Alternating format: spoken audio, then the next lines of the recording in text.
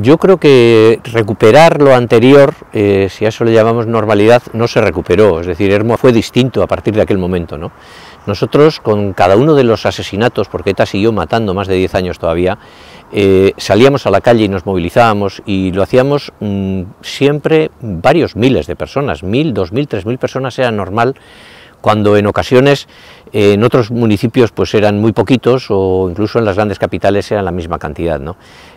Siguió activa, eh, estuvo muy sensibilizada respecto a que el terrorismo era inadmisible y que desde luego iban a responder los ciudadanos de Hermoa con, eh, con gritos de ETA no o con gritos de que ETA tiene que desaparecer en vez de con silencio, con resignación y con parálisis. ¿no? Fue distinto a partir de aquel momento. Y por lo tanto, cuando tras aquellas movilizaciones, tras aquellas manifestaciones masivas, todos nos liberamos, superamos aquel miedo y salimos a la calle a manifestarnos, yo creo que todas las personas que participamos de aquello nos encontramos más a gusto con nosotras mismas, estábamos, estábamos mejor que callados frente a la barbarie de ETA, ¿no? Por lo tanto, bueno, en ese sentido mejor. Y luego todos los elementos de la vida ordinaria, pues de alguna manera también, también mejoraron un poco, porque en Hermoa se vivía más libre que en otros municipios del País Vasco.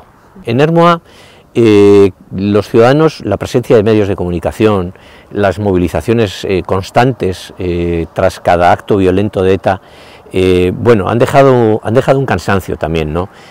queríamos que ETA acabara, queríamos sentirnos libres, queríamos que, que, el tema de la violencia fuera cosa del pasado, ¿no? Y esto es humano, es comprensible, pero a la vez es una debilidad en el sentido de que la memoria es necesaria.